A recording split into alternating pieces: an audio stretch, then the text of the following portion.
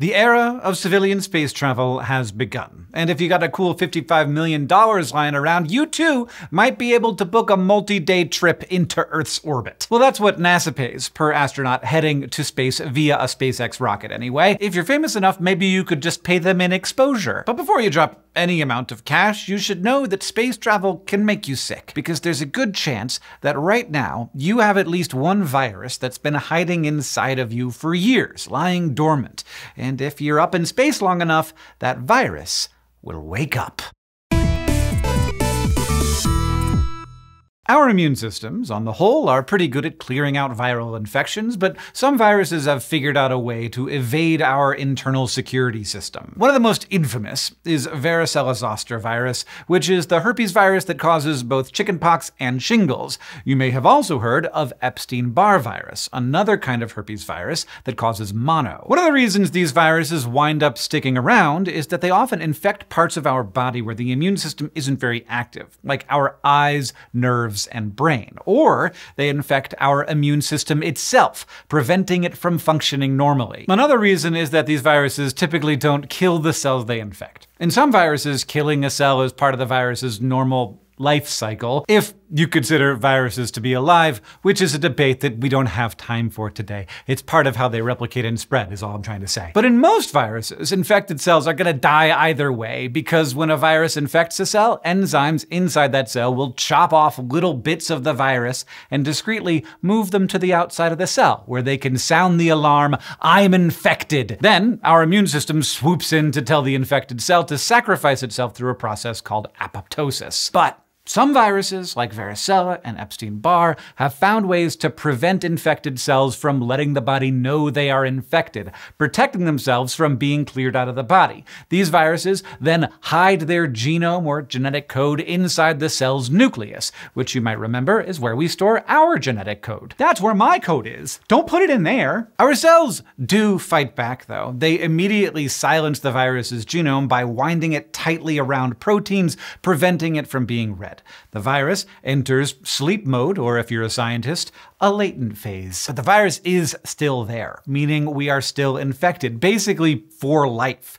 And it can reactivate periodically, producing new viruses and causing all kinds of symptoms from mild rashes to life-threatening disease. We don't fully understand what causes these sleeping viruses to reawaken and make people sick again, partly because it's a little different for each virus. But evidence is mounting that it has to do with our immune systems and cellular stress. When cells are stressed, say by getting a little too hot or getting exposed to the wrong kind of solar radiation, these proteins that normally clamp down on a virus's genetic code can loosen their grip. And this opens the door for some viruses to use their code to make new viruses. Still, if they reactivate, our immune system can swoop in and clean up any sneaky virus production. But what if our immune system isn't working properly either? Well, that brings us to space herpes. Scientists first noticed this space travel reawakened sleeping viruses phenomenon back in the late 1990s when virus particles showed up in astronaut saliva. At first, the increase in virus particles was only observed in samples collected before they headed up to the International Space Station, so researchers figured it might be due to stress leading up to the mission. The typical kind of stress you think about, not cellular stress, but just getting ready for your space mission stress, because stress can affect your immune system. But in follow follow-up studies, virus particles started appearing in samples collected during the flight that hadn't been present before takeoff. Researchers hypothesized that this was part of acclimating to space and that virus levels would taper off eventually, as astronauts got used to their environment. But the opposite happened.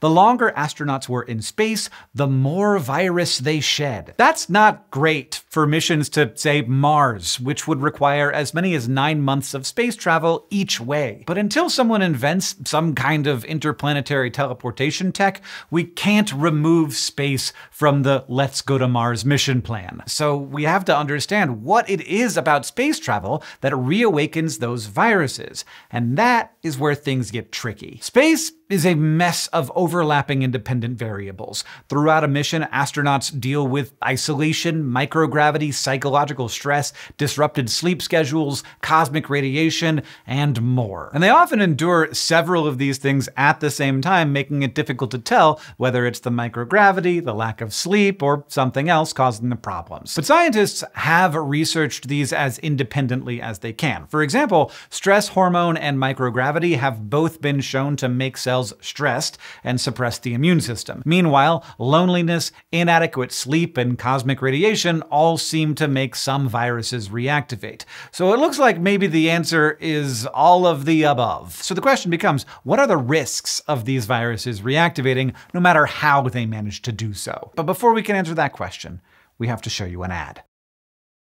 Thanks to Brilliant for supporting this SciShow video. Brilliant is an online learning platform where you can build knowledge through interactive lessons. It's the kind of learning where you can expand your horizons at your own pace. You're not limited to a traditional classroom schedule. And if you only have a moment, Brilliant fits into your life. With Brilliant and a smartphone, you can learn anytime, anywhere. In a waiting room, on a train platform, on a date, well, maybe not on a date, but if they're still getting ready, you could learn algebra and Python before they find the right shoes. To try Brilliant for free, visit brilliant.org slash scishow, scan the QR code on screen, or click on the link in the video description. You'll also get 20% off an annual premium subscription. According to a study published in 2017, 8 of the 23 astronauts in their sample were shedding some or all of the viruses the researchers looked for. But only one of those astronauts had any documented symptoms, including an annoying but mild rash that managed to appear on two separate trips to space. I know that 23 is not a particularly large sample size, but that's one of the problems with researching the effects of space on the human body. Not many people have gone to space. Even if it is true that about a third of astronauts will have a virus reactivate while they are in space, it's likely that a much larger percentage of them have these viruses hiding inside them. For example, a 2013 study found that 54% of 14 to 49 year olds in the US have oral herpes. Meanwhile, a 2021 paper reported that a whopping 97% of men between 18 and 70 across the US, Brazil, and Mexico had Epstein-Barr virus. And that's basically as common as chickenpox causing varicella, although that statistic is probably lumping in everyone who got the vaccine too,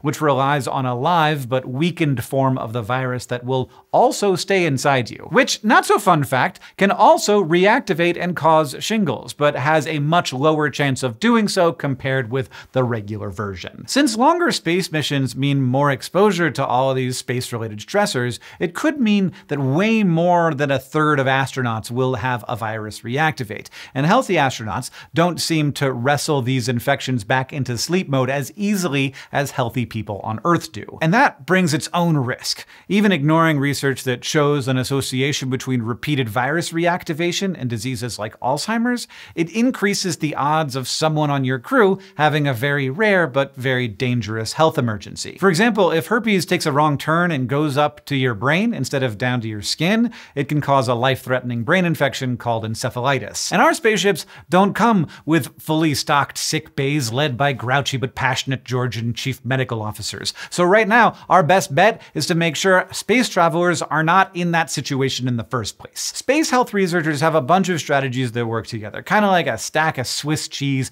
Each layer of cheese stops some of the causes of virus reactivation. The first layer stops the problem before it starts candidate screening, because certain people are more likely to develop severe infections based on their genetics, and scientists are actively researching how to predict who those people are. Screening for those people at risk can keep them out of harm's way, and for the astronauts that do get selected, scientists hope to run them through a sort of stress test. For example, a months-long mission to Antarctica during winter's eternal night to test their immune systems. While not perfect, these pre-flight missions simulate similar levels of stress danger, and resource scarcity as an astronaut would experience in space. And researchers have already observed changes to the subject's immune systems and an uptick in the amount of virus they were shedding during these missions. Some even had mild symptomatic infections. The second layer of cheese is personal prevention. For example, whenever possible, future space travelers should get vaccinated to prevent severe infections. They should also make sure they're getting enough of the right nutrients to prevent things like vitamin deficiencies and getting enough cardio because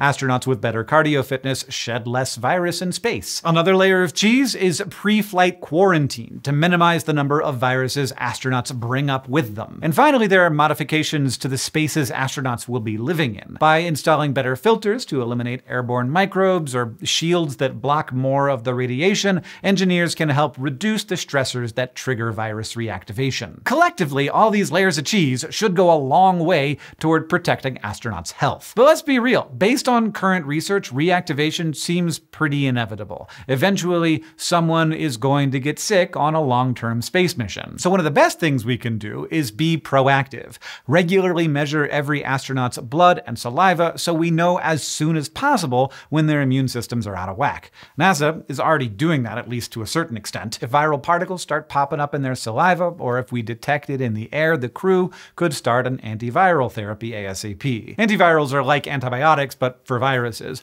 One topical example is Paxlovid, which makes people less likely to be hospitalized from COVID. Will all of these measures be enough to protect people in space? Who knows? And there may be problems we haven't seen yet. The laws of evolution don't stop at the edge of Earth's atmosphere. Viruses could evolve new ways to harm us in space, like some bacteria have. But this framework gives us a starting point. Still, I'm not particularly jazzed about the idea of my dormant chicken pox, so I might have to hold off on space travel until scientists have learned a little more. Although, turn 50 in five years, and then I get my shingles vaccine. That's right, and you should too. So that's why for now, I'm not going to space, and it's totally not because I don't have $55 million.